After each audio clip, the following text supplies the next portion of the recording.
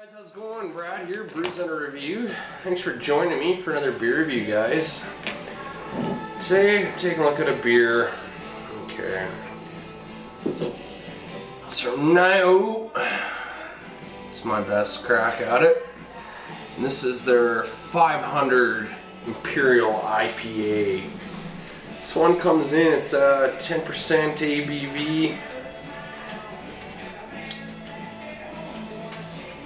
100 IBUs. Uh, I'll read this here. It says nothing like celebrating your own milestones. This is our celebration of 500th batch of beer.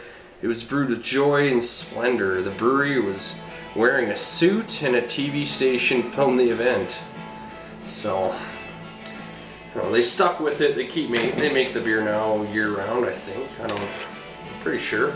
But I think they're out of Norway. I just said that. But let's get this one poured.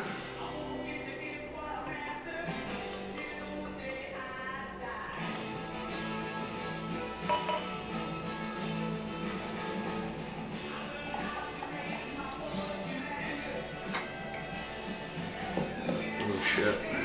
Look guys. Very dark.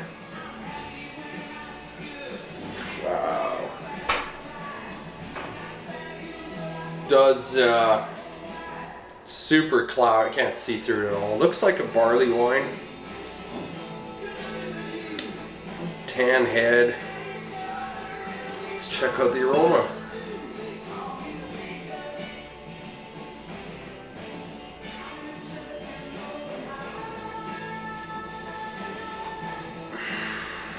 Wow.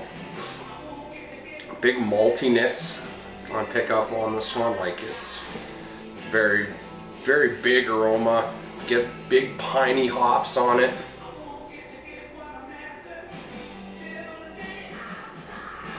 Bit of like a caramel kind of sweetness mixed with like a ton of piney notes there. It's got a really big nose on it, so I'm gonna just get in there.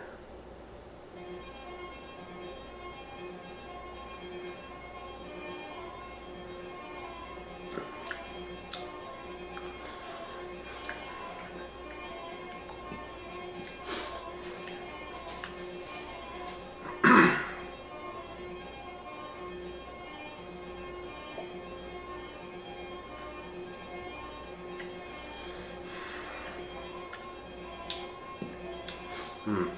It's pretty nice. Hmm. It's got a it's got a medium mouth feel. It's doesn't start very bitter. You get that the big malty notes and bit of sweetness there, but it does kind of turns into a pretty good lingering bitterness.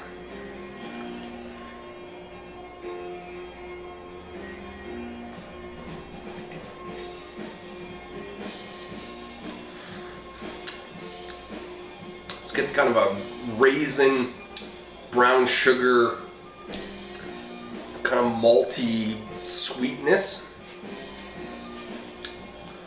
A little bit of piney hops, not like the nose. And then, yeah, a bit of that bitterness at the end, but.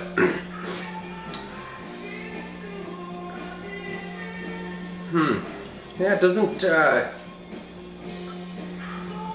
seem like a lot. It doesn't look or really taste like a lot of Imperial IPAs or doubles. It does lean a lot closer in style towards barley wine, in my opinion.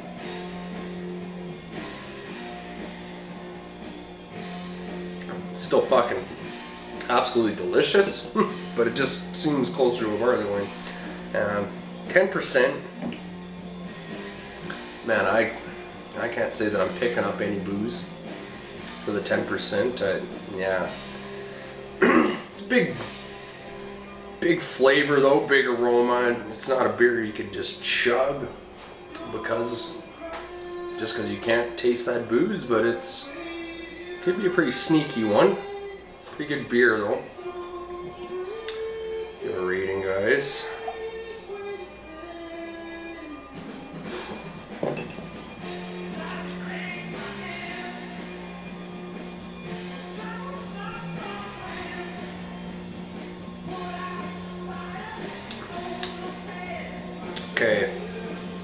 I'm giving the 9 500 Imperial IPA. I'm gonna give it an 80.